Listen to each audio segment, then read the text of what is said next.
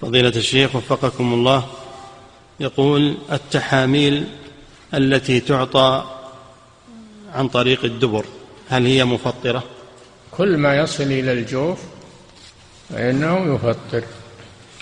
والتحاميل تذهب إلى الجوف تذوب تذهب إلى إلى المعدة. نعم.